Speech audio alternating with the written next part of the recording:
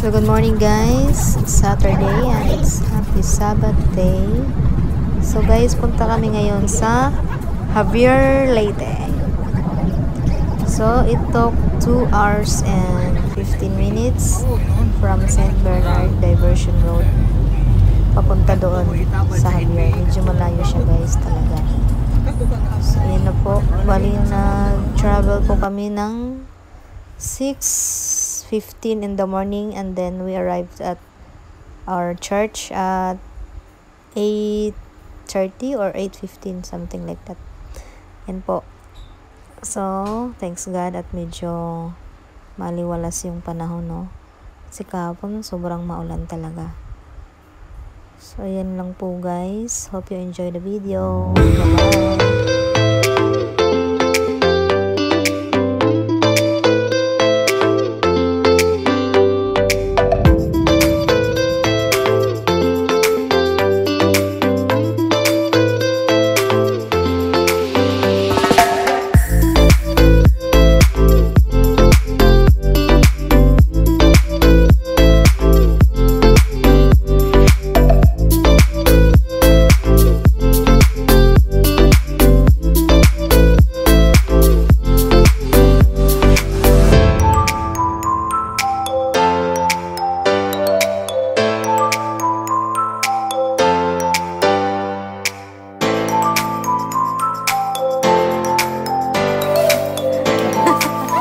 Desde cheers.